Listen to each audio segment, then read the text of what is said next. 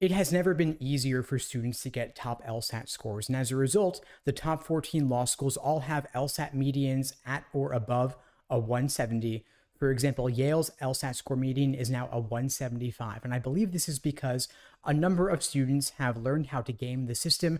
They are exploiting loopholes in the process, and not everyone's equally aware of this. And so as a result, I wanted to share with you out there how to exploit this loophole similarly so that you are not at a disadvantage because you don't know how to play the game. For those who don't know me, my name is Steve Schwartz. I've been teaching the LSAT since 2005 and I personally increased my LSAT score from a 152 to a 175 and I spent my career helping other students do the same. Now the thing is, Law school admissions is a zero sum process because there are limited seats available at the top law schools. There's limited scholarship money available. And today I'm going to share with you what top LSAT students are doing to get into the top law schools and get full ride scholarships, while others, even smart, talented students, get stuck and don't know why. Because you see, there are a subset of law school applicants who have found loopholes in the LSAT, loopholes in the law school application process, and they are exploiting these loopholes for maximum advantage. Technically, they aren't breaking any rules, of course, but by thinking like lawyers, they found these ways to game the system to get into better law schools, to get more scholarship money, or both.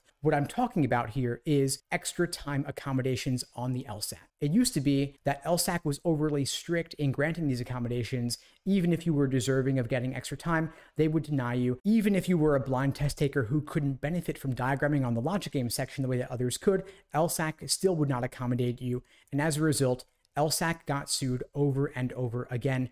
They got sued by the federal government. They got sued by the blind test takers. And as a result, we no longer have logic games on the LSAT. LSAC had to settle that lawsuit and they agreed to develop a new version of the test without logic games for everybody. Similarly, LSAC is now granting extra time accommodations for virtually everybody who asks. It used to be they granted only 70% of requests.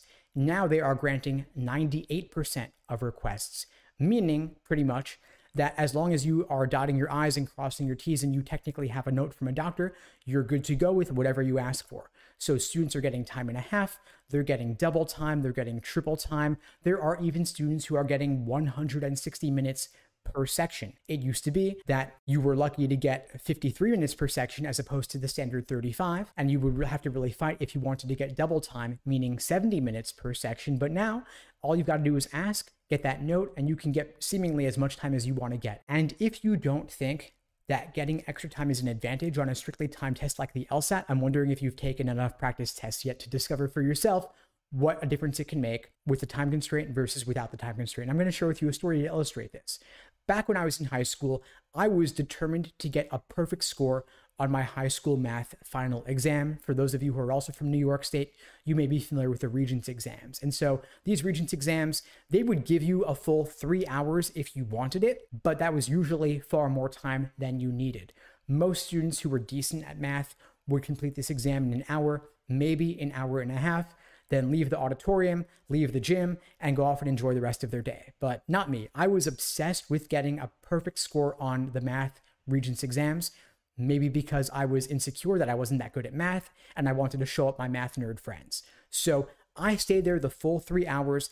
I did every single question twice. I did some of them three times to double check and triple check everything I possibly could, leaving no stone unturned. And as a result, I did, in fact, get that perfect score on the math Regents exam, while my math nerd friends, who were not as diligent, who maybe didn't care as much, they were getting 93, maybe 95s. I was getting 100 because I took advantage of the extra time that was available to me. And similarly, I hear from students all the time that they've gotten extra time and they'll say to me, I really benefit from the extra time on, say, reading comp, but I don't really need it on logical reasoning, or vice versa. And when logic games were on the LSAT, I would also hear from students who were saying, I don't really need the extra time on logic games, but I really love to have it on reading comprehension. And so, what my point here is that these extra time accommodations are not precise, and LSAC is being a little bit too liberal as an overcorrection when previously they were too strict. These accommodations are lacking in precision because these qualified professionals, so called, who are doctors, psychologists, and psychiatrists, they're able to say, yes, you suffer from anxiety, or yes, you have difficulty focusing, but should they be the arbiters of granting a privilege relative to other students? Can they really say with any degree of precision that you deserve time and a half versus double time versus triple time versus 160 minutes per section, more than two and a half hours, whereas the standard timing is only 35 minutes. What I find is that students are applying for time and a half or double time, getting it, taking the LSAT, and saying, you know what, I actually decided that I want more time, or I want to take it over two days, or I want unlimited stop start breaks, or actually, I want it on paper. They go back to their qualified professional, they get the revised request, they go back to LSAC, LSAC grants it. Now this test taker has way more time, and then of course they're getting a bigger score increase as a result. And we're seeing from a recent report released by LSAC that's 85 pages long. I went through the whole thing, so you don't have to. One big thing that jumped out to me, aside from what I've shared previously here, is that accommodated test takers get five points higher on average than unaccommodated test takers.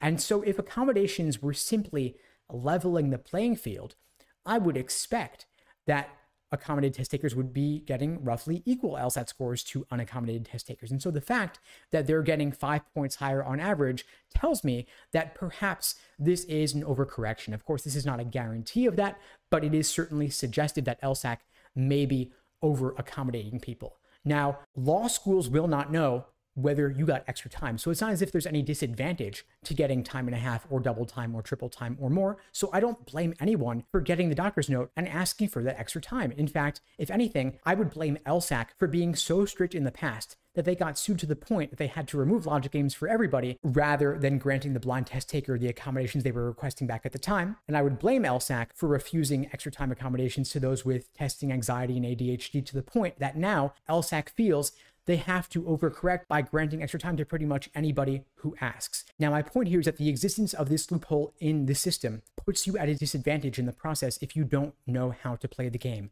As I said earlier, admissions is unfortunately a zero sum process because there is by definition a finite or limited number of seats available, and there is a limited amount of scholarship money available at pretty much all the law schools, of course. And so my point here is that if you don't want to be at a disadvantage relative to others who are exploiting these loopholes in the system, and the loopholes are not just about logical reasoning or reading comprehension or how much time you put in to the exam, it is about the accommodations that you can get based on the conditions that you can demonstrate. And so if you think you might qualify, if you think you might suffer from ADHD or testing anxiety, don't be afraid to seek out the accommodations. No one's going to know, no one's going to judge you, and it may just be what you need to get back on that level playing field. Anyway, folks, that's all for now. In the meantime, I wish you all the best and take care.